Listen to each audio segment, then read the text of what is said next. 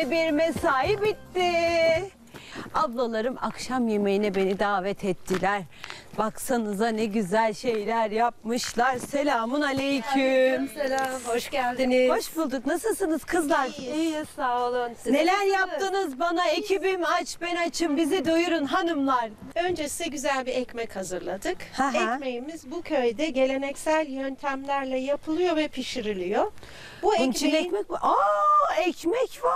bu ekmeğin mayası ekşi maya ama biz buna Hızır mayası da diyoruz. Niye Ee? Hızır mayası diyoruz? 5 Mayıs Hıdırlez'de Hı hı. e, sabah 5'te köyün kadınları çıkıyorlar. Yaprakların üzerindeki çiğleri toplayıp hamuru onunla karıyorlar ve bir maya elde ediyorlar. Ay ben yoğurt mayalandığını duymuştum böyle ama Ekmek mayası da yapılıyor Ha. ve bu maya bir yıl boyunca ekmek yapımında kullanılıyor. Tabi zaman zaman mayayı kaçırdığımız oluyor. Hemen komşuya gidiyoruz ya da yaşlı bu köyde herkeste var mı bu maya? Herkeste vardır. Aa. Ve, e, Sizin isminiz ne özür Filiz. dilerim. Filiz Hanım. E, Bu ekmeği herkes bilir ve yapar mı? Yer Herkes mi? bilir ve yapar, yer. Bu ekmeğin diğer bir birincisi mayası. İkincisi kullandığımız unlar geleneksel ve ata tohumlarından. Hı hı. Üçüncüsü de pişme yöntemi. Gördüğünüz Oo, gibi bunun kapak- adı ne? kapalı.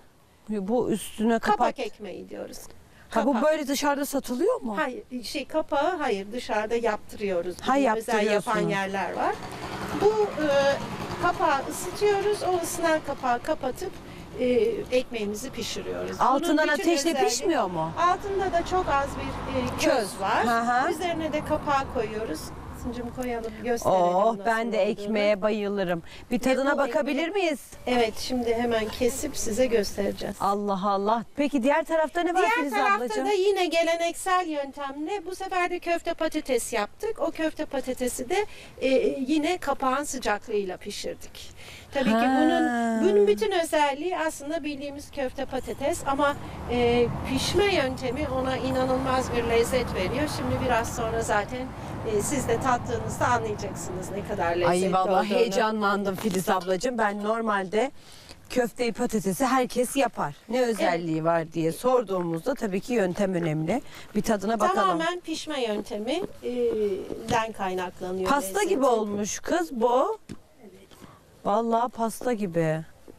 Bu kahvaltı. Bunun üzerindeki susam biliyorsunuz kayak şey Fethiye'de yetişiyor susam. Susam hatta tahinde e, bölgesel işaretimiz var e, Fethiye'nin. olduğu için parçalandı. Olsun önemli değil. Ver bebeğim ver ver ver ver ver. Ver aşkım ver ver. Ay iyi heyecanlandım vallahi. Ver kız çabuk ver. Heh, Veriyorum nerede? Buyurun. Teşekkürler. Evet ekmek sıcak olduğu için dağıldı. Ama olsun ekmek ekmektir vallahi her yerde yenir. Evet biz bu ekmeği öğlende yaparız. Akşama kadar dinlendiririz. Akşam çok daha lezzetle yenir. Oo. Afiyet olsun. Hmm, pasta gibi vallahi. Evet. Hem öyle de görünüyor. Oh, oh, oh. Ay ekmeksiz de bir dünya düşünemiyorum Filiz abla ye tatlım. Kendin yapmış gibi. Ye aşkım sen de ye bebeğim. Kendin yapmış gibi. Şimdi biz bu ekmeği kuru kuru yemeyelim. Evet. Madem köfte, var. patatesi. Teyzelerim ablalarım bu yöntemleri görsünler. Oo. Bu Ben ilk defa böyle bir şey duyuyorum. Evet, mübadele döneminde Selanik'ten buraya gelip yerleşmişler, e, Yunanistan'dan gelip yerleşmişler. Onların getirdiği bir yöntem e, kuşaktan kuşağa devam ediyor. E, Biz de bunları taşımak istiyoruz, yeni kuşaklara taşımak istiyoruz. Onun için kayıt altına almak istiyoruz ve sizin programınız da bu anlamda çok güzel oldu. Ay ne güzel. Peki çocuklarına öğretiyor musun Filiz abla?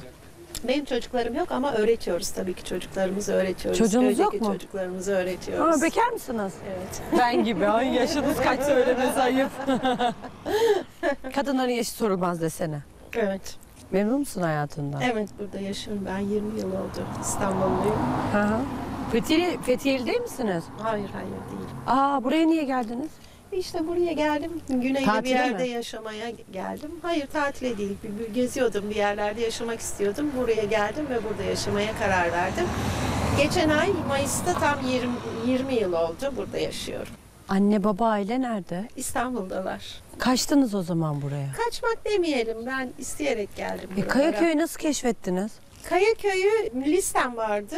Güneyde bir- işte bir yere yerleşmek istiyordum. Kayaköy vardı, Bozburun vardı, Kaleköy vardı. Kayaköy'e geldim ve yaşayacağım yere geldim dedim. Ama ben sizi hakikaten bir Kayaköylü zannettim biliyor musunuz? Teşekkür ederim. Gönüllü Kayaköylüsünüz Evet, öyle mi? evet. Peki akraba edindiniz mi buralarda? Tabii tabii. Ee, çok e, burada e, köylü beni sevdi. Ben de onları çok sevdim. Zaten Gayet çok yaşayan güzel. yok burada galiba. Yani dışarıdan gelip yaşayanlar ancak 3-5 sene yaşayabiliyorlar ama 20 senedir ben onları seviyorum, onlar beni seviyorlar. Böyle çok mutlu. Genelde köyler göç verir. Ama burası göç alıyor galiba. Yani alıyor evet Ge- gelip insanlar bir, bir süre gel- yerleşiyorlar burada. Ne var burada peki? Yani burası zaten e, Anadolu'daki e, 17. 18. yüzyılda da en büyük Rum yerleşim merkeziymiş. Yani Osmanlı'nın e, sınırlarını düşünecek olursanız o kadar genişken Çok buraya güzel gelip şeyler yerleşmişler. anlatıyorsunuz ama ben bir köfte yiyeyim. Sonra Çünkü buranın e, birincisi havası, ikincisi toprağı ve suyu çok kıymetli ve çok güzel. Havası çok güzel. Yani burada sizi bu gece misafir edelim. Hayatınızda uyumadığınız güzel uyku uyuyorsunuz. ya Evet. hmm. Ve şeydir. bu arada e, köfteler de yakılıyor Filiz abla. Sohbet şahane, yemek bahane. Fethiye'nin en, en yakın yaylasıdır burası aynı zamanda. Yayladır. Yani burada yazın hiç klima kullanmazsınız. Püfür püfür hep sürekli eser bu şekilde. Peki Çünkü etrafı denizle çevrili. Bu, burası bir yarımada ve etrafı denizle çevrili.